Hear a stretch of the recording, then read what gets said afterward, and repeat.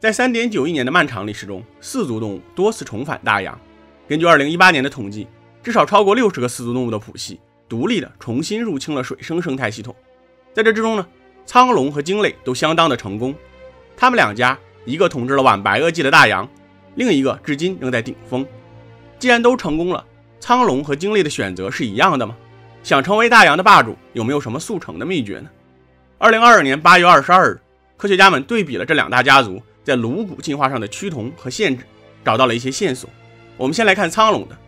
苍龙家族在其演化历史的早期，分化为了三个平行的谱系：罗塞尔龙亚科、苍龙亚科，再加上更为基础的大洋龙亚科。这些早期的苍龙成员还比较弱。土伦期的罗塞尔龙和特提斯龙的头骨都比较小，而且相对脆弱，这就使得呀，它们只能捕食较小的猎物。很快呢，苍龙就解决了这个问题，并且把势力扩张到了全球。晚期的三巨头苍龙、青齿龙还有海王龙都成长为了顶级的掠食者。这些顶级杀手们还可以粗分为两个生态位，青齿龙家族是其中的一个代表。这些大型猎手演化出了更健壮的鼻子和下颌骨，这会在它们撕咬猎物时提供更高的抗压能力。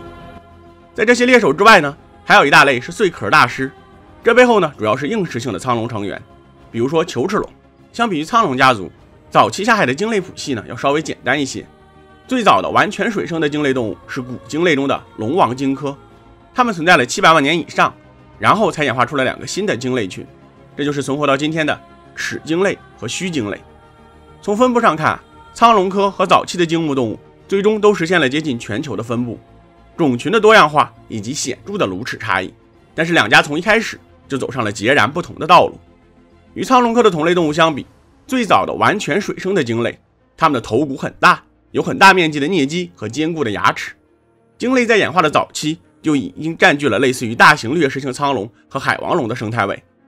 古老的须鲸成员和龙王鲸差不多，它们有着长而薄的鼻子和更小而且更窄的牙齿，这和鲸类冠群的生态位是有点像的。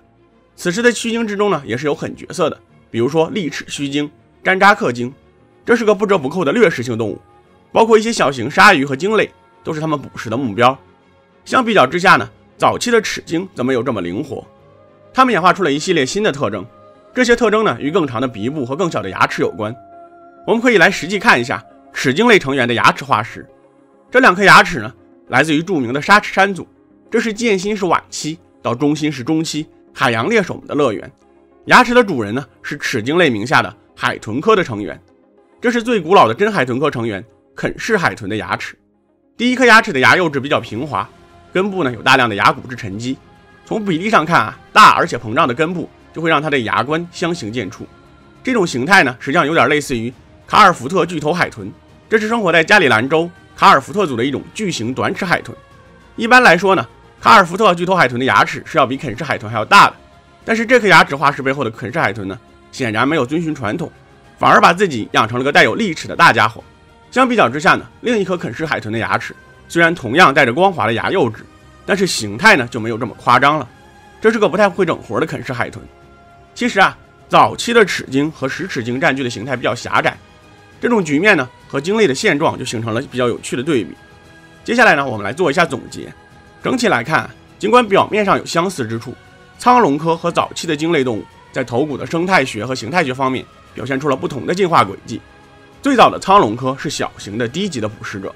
它们迅速辐射到了一系列不同的生态形态和生态位。相比之下呢，早期完全水生的鲸类动物很可能都是大型掠食性动物，并且表现出了适应较小猎物的普遍进化的趋势。一个从小到大，另一个从大到小，然后再回归。这种演化路径上的差异，除了外在环境的影响，鲸类和苍龙的演化还受到了内在系统发育的限制。这就使得它们在改造自身的同时，就必须具体情况具体分析，只有这样才能找到最适合自己的道路。并孕育出可以登顶的大杀器。最后呢，让我们来看一下齿鲸类登顶的大杀器——巨食性抹香鲸的牙齿化石。这颗较大而且完整的牙齿来自于南卡罗来纳州埃斯河盆地，它的主人是斯卡尔鲸属。这是一种已经灭绝的抹香鲸超科的猎手，和利维坦鲸它们同属于巨食性抹香鲸。从这颗牙齿化石上，我们可以看到，这些齿鲸中的顶级猎手和现代抹香鲸不同，斯卡尔鲸的牙齿覆盖着一层非常厚的牙釉质涂层。牙齿适度弯曲，可以深深地扎入骨头，这些特征都表明斯卡尔丁的咬合力非常的强悍。它们并不像现在的抹香鲸一样紧盯头足类，而是把目光投向了大型海洋脊椎动物。其实从它们的牙齿损伤上也可以看出来斯卡尔丁的凶残程度。它们一族的牙齿损伤经常会表现出牙根纵裂的状态，这是咀嚼坚硬食物或者在咬合时反复施加过大的力才会造成的牙齿损伤。比如说撕咬大型脊椎动物的时候，斯卡尔鲸极有可能扮演了现在虎鲸的角色，四处追逐各种大型的海洋哺乳动物。这个时代呢，也是抹香鲸超科称霸的时代。以利维坦鲸为代表的五大家族已然崛起，巨噬性抹香鲸即将君临海洋。